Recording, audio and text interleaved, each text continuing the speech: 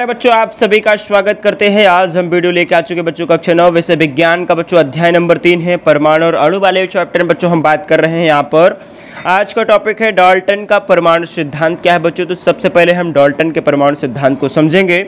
तो रासायनिक संयोजन के नियम पर आधारित डाल्टन के परमाणु सिद्धांत द्रव्यमान संरक्षण का नियम और स्थिर अनुपात के नियम को सिद्ध करता है। तो चलिए हम इसी नियम को बच्चों सिद्ध करेंगे। और जो डाल्टन का परमाणु सिद्धांत बच्चों, क्या है, किस प्रकार से रहेगा, इसको हम डिटेल में बच्चों चर्चा करेंगे। सभी द्रव्य परमाणुओं से निर्मित होते हैं बच्चों, जो सभी द्रव्य होते हैं, क्या होते हैं? परमाणुओं से निर्मित होते हैं। वही बच्चों, क्या होते हैं? जो परमाणु होते हैं अभिभाज्य सूक्ष्मतम कण होते हैं बच्चों, क्या होते हैं? परमाणु अविभाज्य सूक्ष्मतम कण होते हैं, जो रासायनिक अभिक्रिया में ना तो उत्पन्न होते हैं और ना ही इन्हें नष्ट किया जा सकता है। यह अंश द्रव्यमान संरक्षण के नियम को बच्चों क्या करता है? सिद्ध करता है। चलिए, अगले पॉइंट पे बच्चों हम चर्चा कर लेते हैं। तो अगला पॉइंट क्या कहता है बच्चों? तो अगला पॉइंट बच्चों और भी सरल है, बोला जा रहा है। यहाँ पर ध्यान से सुनिएगा। कि दिए गए तत्व, दिए गए तत्व सभी परमाणुओं के द्रव्यमान एवं रासायनिक गुणधर्म समान होते हैं। यानी जो तत्व दिए जाते बच्चों, उन सभी के परमाणुओं के द्रव्यमान और रासायनिक गुणधर्म बच्चों क्या होते हैं? समान होते हैं। भिन्न भिन्न तत्वों के परमाणुओं के द्रव्यमान और रासायनिक गुणधर्म बच्चों क्या होते हैं? भिन्न भिन्न होते हैं। जैसे मान लीजिए हमने समान तत्व लिया तो समान तत्वों के रासायनिक गुणधर्म और उनकी रासायनिक प्रक्रिया बच्चों क्या होती? समान होती। लेकिन जैसे हमने क्या किया बच्चों? तत्वों को हमने बदल दिया। अलग अलग तत्व ले लेंगे बच्चों। तो अलग अलग तत्वों के जो परमाणु द्रव्यमान होंगे, वो भी अलग होंगे। और रासायनिक जो गुणधर्म होंगे बच्चों, भी क्या होंगे? अलग अलग पाए जाएँगे। अगला पॉइंट नोट करेंगे बच्चों भिन्न भिन्न तत्वों। परमाणु परस्पर छोटी छोटी पूर्ण संख्या के अनुपात में संयोग करके योगी बच्चों, पढ़ाई में डाउट आते हैं तो सॉल्व नहीं हो पा रहे तो घबराओ मत, इसका सोल्यूशन डाउट नेट ऐप जिस भी सवाल में आपको डाउट है, उसकी फ़ोटो खींचो क्रॉप करो, पाँच सेकंड के अंदर उसका वीडियो सोल्यूशन मिल जाएगा। वो भी बिल्कुल फ्री में। यानी अब आप पूछे अनलिमिटेड सवाल कहीं भी, कभी भी। अब चाहे आपका सवाल क्लास छठी से बारहवीं तक आई आई जेई नीट का हो, या फिर सीबीएसई यूपी बिहार, राजस्थान या अन्य स्टेट बोर्ड का हो। कोई भी सब्जेक्ट हो physics chemistry math biology science आपके सभी सवालों के जवाब आपको सिर्फ़ डाउट नेट ऐप पर मिलेंगे। साथ ही साथ डाउट नेट पर चल रही क्लास नौवीं से बारहवीं तक आई आई जेई नीट के बच्चों के लिए। ऑनलाइन क्लासेस जिसका हिस्सा बनकर देश के सभी राज्यों से बच्चे लेकर आए रैंक वन तो आज ही डाउट नेट ऐप को इंस्टॉल करो और अपने सभी डाउट को भगाओ और टॉप रैंक लेकर आओ। का निर्माण करते बच्चों, क्या होता है? जो छोटे छोटे या अलग अलग तत्व होते बच्चों, क्या करते हैं? परमाणु परस्पर छोटी पूर्ण संख्या के साथ या छोटे तत्वों के साथ बच्चों क्या करते हैं? क्रिया करते हैं और उनको संयोग करके बेटा जी एक नए उत्पाद का निर्माण करते हैं। नए यौगिक का क्या करते बच्चों?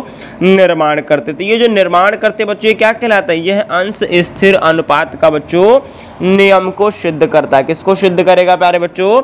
स्थिर अनुपात के नियम को बच्चों ये सिद्ध करता है। चलिए छठा पॉइंट नोट करिएगा। किसी भी यौगिक में परमाणुओं की सापेक्ष संख्या एक प्रकार निश्चित होती है।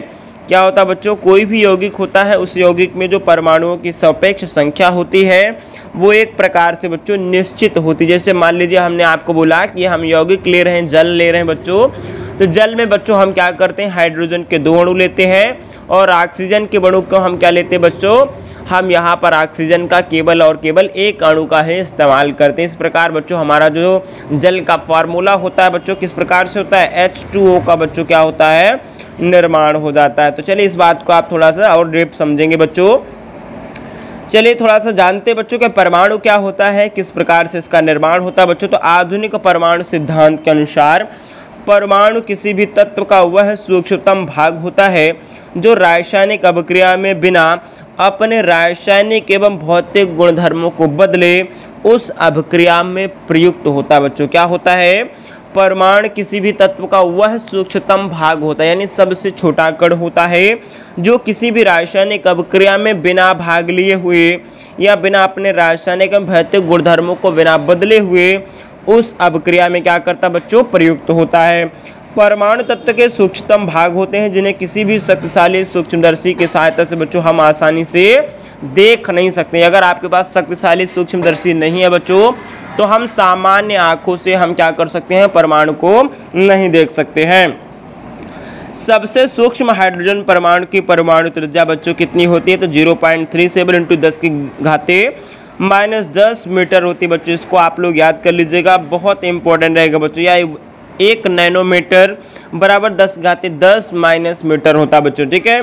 आयु पीएससी के आधार पर बच्चों, कुछ चीज़ें यहाँ पर जान लीजिएगा कि कौन कौन से ऐसे तत्व हैं बच्चों तो इन तत्वों के बारे में आप नोट कर सकते हैं, जिनके परमाणु द्रव्यमान कहलाते हैं तो इसको नोट कर सकते हैं, प्यारे बच्चों।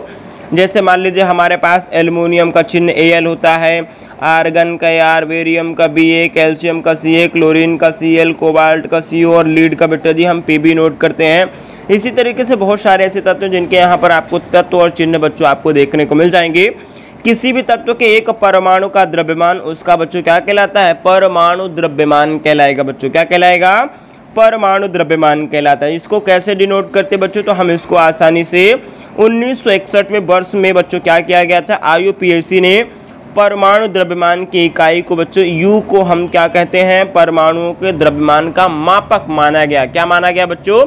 जो हमारा स्मॉल यू होता है, उसे हम परमाणु द्रव्यमान की इकाई या फिर यू को बच्चों हम क्या मानते हैं? परमाणुओं के द्रव्यमान का मापक माना गया था। तो चलिए हम अगले पॉइंट पे बच्चों, अगले वीडियो में आपको मिलेंगे। अगर यह वीडियो पसंद आता है तो चैनल को सब्सक्राइब करके बेल आइकन को प्रेस कर लीजिएगा। और अपने दोस्तों को ज़रूर शेयर कर दीजिएगा बच्चों, ताकि उन्हें भी महत्वपूर्ण वीडियो की जानकारी मिल सके, वो भी पढ़ सकें, सीख सकें और समझ सकें बच्चों। अगर कोई प्रश्न बनता है तो कमेंट के माध्यम से आप बता दीजिएगा। जानकारी आप तक बच्चों इन्फॉर्मेशन पहुँचा दी जाएगी। तो फिर मिलते हैं, तब तक के लिए जय हिंद, जय भारत।